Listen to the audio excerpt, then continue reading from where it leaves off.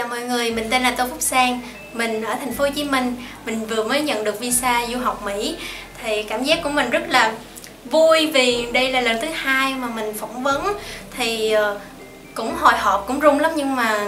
vào rồi thì cảm thấy là cũng uh, ráng bình tĩnh thôi. Tại vì mình mình mình bình tĩnh bình tĩnh thì uh, mình mới phỏng vấn tốt được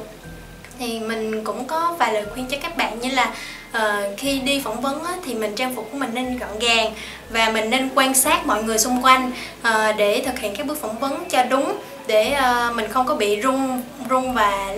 um, vấp khi mà uh,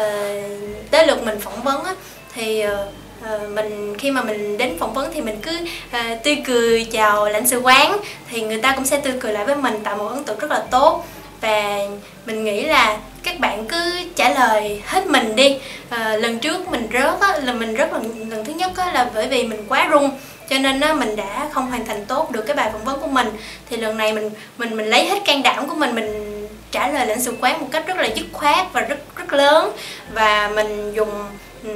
eye contact với lại lãnh sự quán thì mình nhìn họ họ cũng nhìn mình thể hiện sự tôn trọng và và và họ cũng mỉm cười với mình. Thì mình, họ cũng xem xét hồ sơ, cũng không có xem xét hồ sơ của mình nhiều bởi vì họ họ họ cảm thấy họ họ có thể tin tưởng được mình bởi vì mình trả lời rất là dứt khoát, rất là hùng hồn. Và mình cũng tươi cười nữa, rồi mình trả lời hợp lý.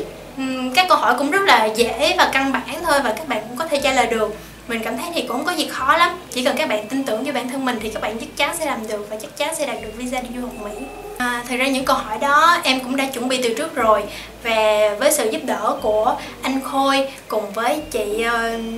chị chị Hương làm hồ sơ giúp mình thì cũng có sửa qua các câu hỏi đó cho mình và mình cũng giật đi giật lại. Rồi mình cũng học tới học lui. Rồi nói chung um, học từ các anh chị thì các anh chị dạy rất là kỹ càng và chuẩn bị cho mình hết tất cả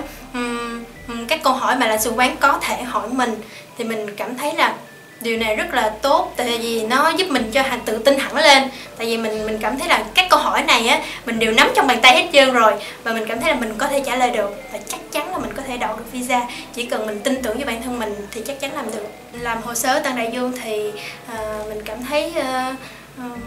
các anh chị rất là chu đáo rất là ân cần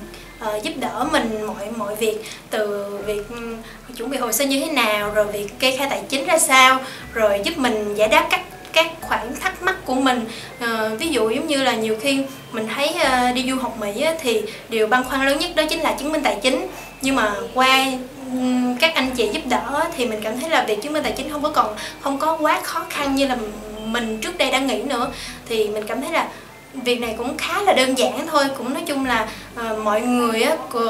chỉ cần có chuẩn bị chút chút thì chúng ta có thể đi du học Mỹ được mà không phải lo lắng là đi học Mỹ thì mình phải có tài chính rất là đồ sộ hay sao đó thì không phải. À, mình cảm thấy mọi người rất là ân cần chu đáo từ việc chuẩn bị hồ khu hồ, hồ sơ cho đến khi mà dặn mình lên phỏng vấn rồi ờ, luyện tập cho mình. Cách phỏng vấn như thế nào để trả lời tự tin của, của anh anh Bảo Anh có một lớp dạy uh, cách uh, trả lời tự tin thì mình cũng cảm thấy là mình cũng rất tự tin là mình cảm thấy rất tin tưởng chính mình nhà anh Bá Anh và anh anh Khôi cùng với chị Hương và các chị ở trong Tân Đại Dương cũng giúp đỡ mình rất là nhiệt tình. Và mình cảm thấy là um, lựa chọn làm hồ sơ Tân Đại Dương thì là một quyết định rất là sáng suốt.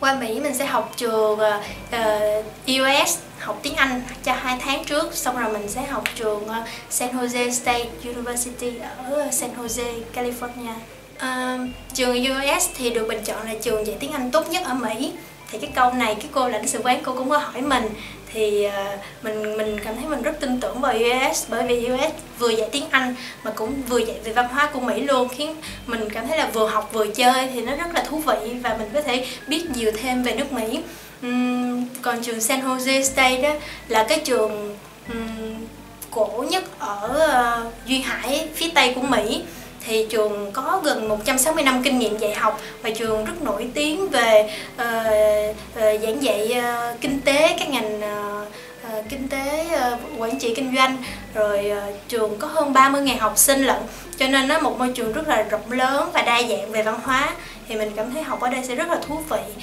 Tại, tại vì trường uh, rất là nổi tiếng ở ở khu vực này ở thành phố an toàn nhất ừ, của nước Mỹ đó là thành phố San Jose và trường nằm ở trung tâm của thành phố luôn cho nên rất là thuận tiện cho các công cái việc vui chơi giải trí đi lại cũng như là học tập ở đây. Mình à, có visa rồi và mình cảm thấy rất vui và mình um, có lời khuyên dành cho các bạn muốn đi du học Mỹ thì lựa chọn Tân Đại Dương giúp các bạn à, làm hồ sơ đi du học thật là một sáng ừ, quyết định sáng suốt. Mình cảm thấy ờ, mình rất hài lòng về uh, quá trình uh, làm hồ sơ đi du học Mỹ của mình tại Tân Đại Dương. Và mình rất cảm ơn các anh chị ở Tân Đại Dương đã giúp đỡ mình rất là nhiệt tình. Mình chúc các bạn uh, sẽ mau chóng đạt được ước mơ của mình đi du học Mỹ cũng như tất cả các bạn khác đã đang và dự định sẽ đi du học Mỹ cũng như là uh, có uh, thực hiện ước mơ của mình bay cao bay xa hơn và tự tin vào chính mình là mình sẽ thành công ở đất nước Mỹ.